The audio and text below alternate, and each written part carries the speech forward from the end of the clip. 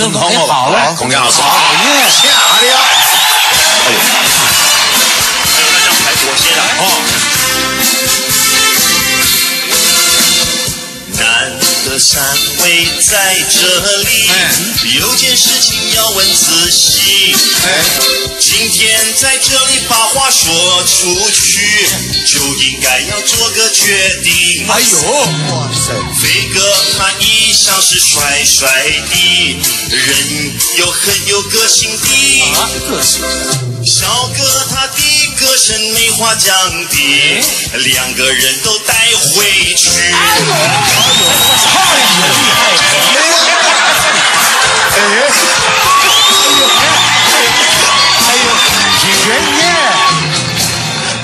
天是大年夜除夕，难得大家再团聚。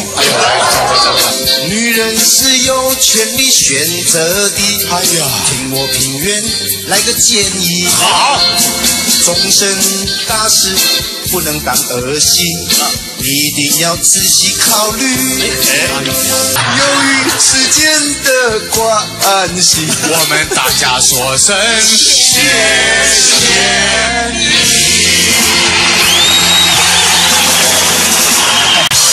不简单哎呀，差不多百从来没有觉得自己有压力哎呦哦。我觉得他们好厉害哦！你害从来没有觉得这么你你虚弱你有看到哦？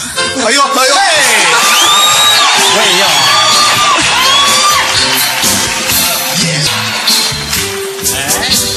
哎，你们大家不要干着急，我们三人很熟，很熟嘛，将会自己有主见的，答案就在他心里。小哥，你实在太客气，你对我是有情有义。但是你个一字勾勾的，简直给我出难题。平原和情是深深的。我的幸福不由你们来操心，一切都要靠缘分的。江辉小姐，你别看戏。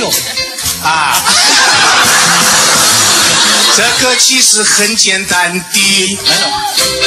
你们要把我这个问题问出去，我现在就回答你。谢谢你们二位好老弟，要把这个姻缘牵在一起。只要能把江辉他娶回去，明年帮我生一个 baby。